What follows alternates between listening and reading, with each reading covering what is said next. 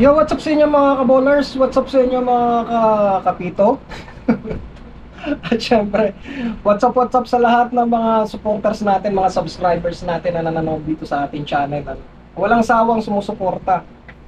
Ang ating topic ngayon mga kabowlers, mga kapito, ay regarding dun sa live namin kagabi. Nag-live ako kagabi, tapos ang naging topic namin ay ah, patungkol sa mga referees kung paano maging effective referees. Ano? Dapat accurate yung mga call, tapos yung mga pagsunod sa mga rules and regulations ng basketball, kung paano pinatutupad ang mga rules and regulations sa loob ng basketball court. Tapos napunta kami sa isang topic na nag-comment ang isang referee doon na sabi niya, may mga magulang, mga kamag-anak na nanonood ng basketball, tapos minumura yung referee, ah, may daladalang mga camera, ibibidyo ang ang pagre-referee ng kabaro natin and then ipopost sa social media. So, ang hahanapan lang ng pagkakamali ang isang referee, din ipopost sa social media. Which is talagang unfair. Kaya sabi ko roon sa isang referee na nag-comment kagabi, sabi ko, sige gawa natin ng ano, gawa natin ng separate vlog yung tungkol dyan. Sabi ko sa kanya, so ngayon gagawa natin ng vlog, gagawa natin ng parang reaction yung ano niya, yung naging ah, comment niya kagabi dun sa live namin ng ating kabaro. Okay? Of course, kabaro natin yan, referee, at saka subscriber natin yan. Sabi, susuportahan natin yan. Diba? Ang hindi lang natin sinusuportahan ng mga referees, siyempre, yung mga nambabasya atin ng mga referees, tsaka mga hindi naman nanonood dito sa channel natin, hindi natin susuportahan yan.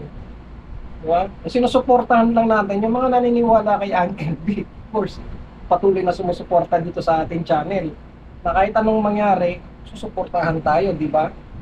So ganoon, mabalik mabalik tayo ron sa sitwasyon na sinabi ko, sige, ah, sa separate vlog nga natin, at ito na yun, ang ating reaction tungkol doon.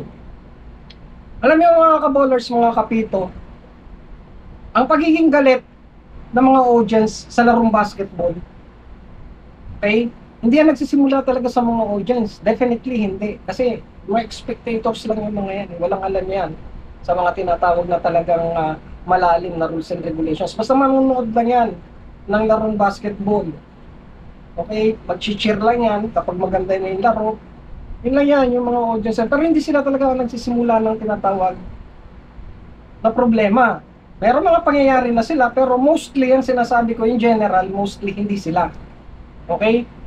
At talagang nagsisimula dyan ng problema patungkol sa mga ah, pagkagalit ng mga audiences, pagkagalit ng mga players. Sa referee, ay ang coach mismo. Opo. So patutungkulan natin sa video ito ang mga coaches ng basketball. Okay, ng mga team. Kasi yun ang katotohanan. Hindi natin po pwedeng i-deny ang katotohanan. Dahil sa tagal kong nagre-referee, yung talagang katotohanan. Ang problema sa loob ng basketball, ang pagmumura ng mga players, ang pagmumura ng mga audiences, nagsisimula yan sa coach. Kung paano mag-react ang coach. Kapag nakakaramdam ang mga players, nakakaramdam ang mga audiences na galit si coach, nagagalit na rin yan. Series ang ano yan, eh, emosyon yan eh. Okay? Yun ang talagang ano doon, magiging ah, senaryo. Ngayon, syempre, ang vlog na to, kung nanonood ka coach or may nanonood ng mga coaches, eh, yun po talaga ang katotohanan. Pero hindi ko naman sinasabi na lahat ng coaches, eh ganon. Diba? Maraming coaches ang marunong makipag-deal sa mga referees. Alam niya kung paano makipag-deal sa mga sitwasyon patungkol sa mga referees. Yung pag-uusapan natin ngayon, kung paano dapat makipag-deal ang mga coaches sa mga referees para maiwasan natin ang mga tinatawag na problema na yan. Kasi nandito tayo sa YouTube channel natin, Okay? Kaya nabuo ang tinatawag na channel ni Uncle B, hindi para mag-create ng problema, para solusyonan natin ang problema. Di ba? Alam na alam naman yan ng mga subscribers natin na hindi tayo dito nagki-create ng problema. Hindi natin dinidepensahan ang mga referees na kung talagang nagkamali siya. Hindi. Kasi hindi ko nga pinoportray ang, ang talagang referees. Ano? Hindi ako nagpo-portray. Yun ang buong katotohanan. Ang pinoportray ko rito is ako bilang isang basketball referee at sinishare ko yung mga kaalaman ko sa mga viewers ko, sa mga subscribers ko, yun ang pinoportray ko. Okay? Paulit-ulit ko naman sinasabi yan. Ngayon, pa- pabalik tayo ron sa tinatawag na kung paano makipag-deal si coach sa mga referees. Okay? Dapat, number one, alam ni coach na tao lang ang referee. Di ba? Alam mo yun, paulit-ulit na natin sinasabi yun eh. Dapat ilagay mo sa isip mo, coach. Ah, tao lang rin yung mga referee, mga nagkakamali yan. Di ba nagkakamali din yan? Hindi yan 100% perfect dun sa loob ng basketball court. Parang ikaw lang rin yun na coach. Hindi perfect ang pagko-coach mo.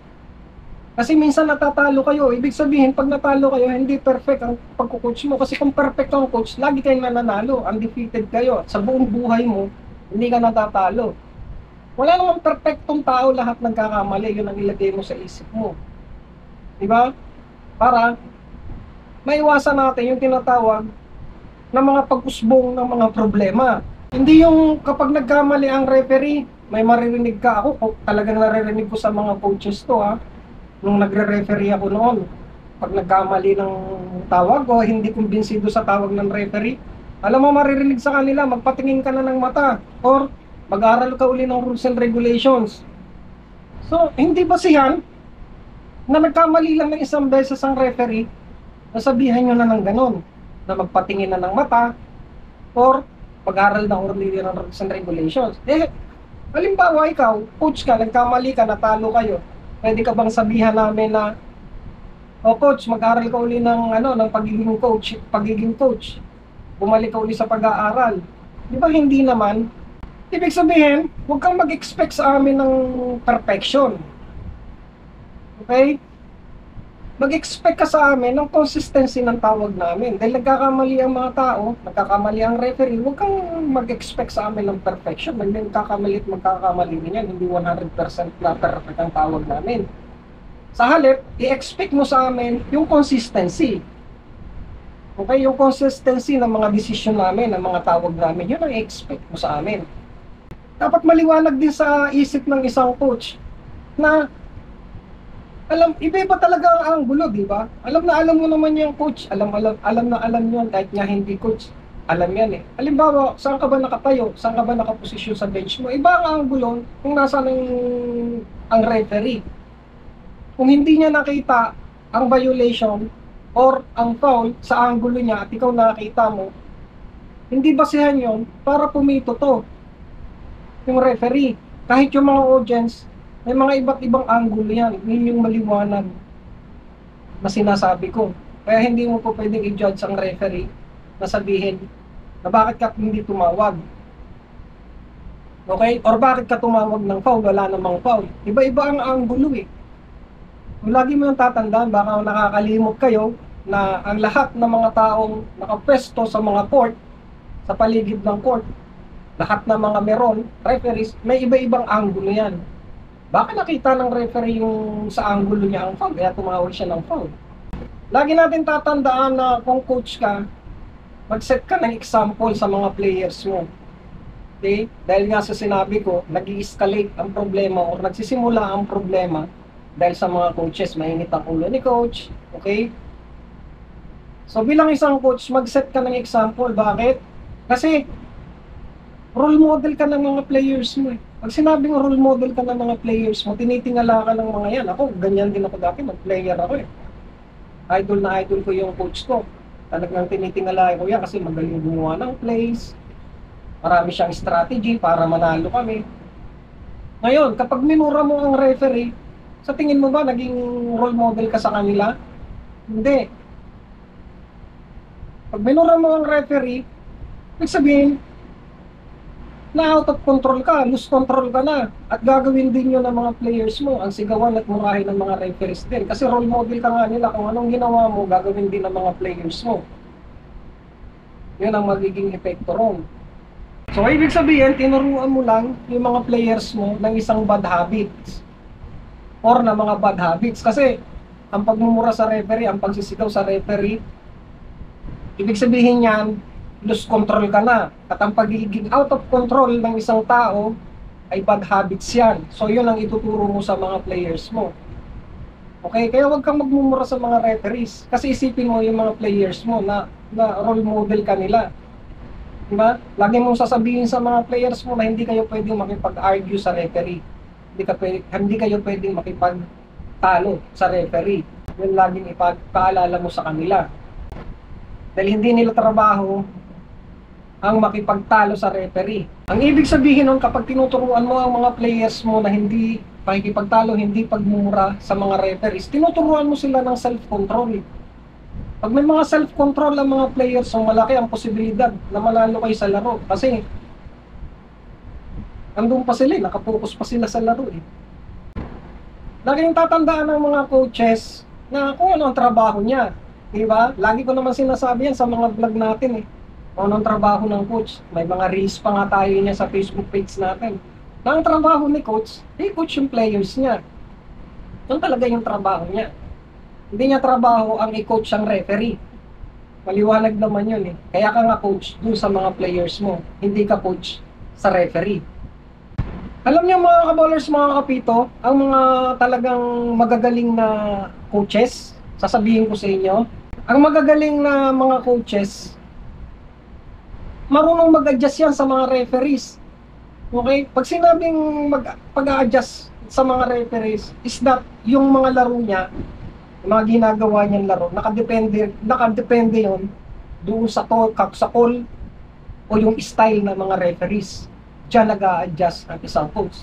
Diyan mo malalaman na magaling ang coach. At napakalaki, napakalaki ng tinatawag na porsyento na manalo yan sa laro. So kailangan niya mag-adjust. Kaya sa magagaling na coach, hindi sa mga plays, sa paggawa ng mga plays para kang manalo sa basketball. Hindi. Tingnan mo ang mga referees kung anong style nila sa pagre-referee. And then doon ka mag-adjust. Doon ka mag-adjust sa mga play mo. Advice ko yun sa inyo. Diyan makikita ang magaling na, na ano, na coach. At syempre, kapag natalo kayo, huwag nyo naman isisi sa referee pagkatalo. nyo. Di ba? Huwag mo naman is, ipag-isisi sa, ng coach na kaya kayo natalo coach eh dahil sa mga referees. Yung ugaling ganon, dapat walang hindi yung nag exist sa isang coach. Okay? Ipaliwanag mo sa parang sa mga players mo na hindi kayo natalo dahil doon sa last seconds, yung dying seconds na nangyari, na close ang laban at nakashoot ang, ang nakashoot ang kalaban o hindi kayo nakashoot. Paliwanag mo sa kanila na hindi kayo natalo ron.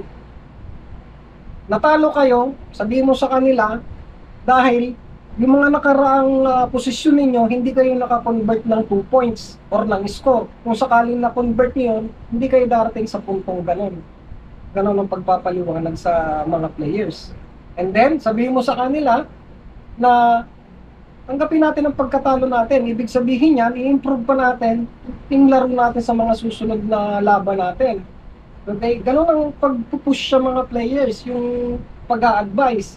Hindi yung natalo kayo, isisisi nyo rin sa referee.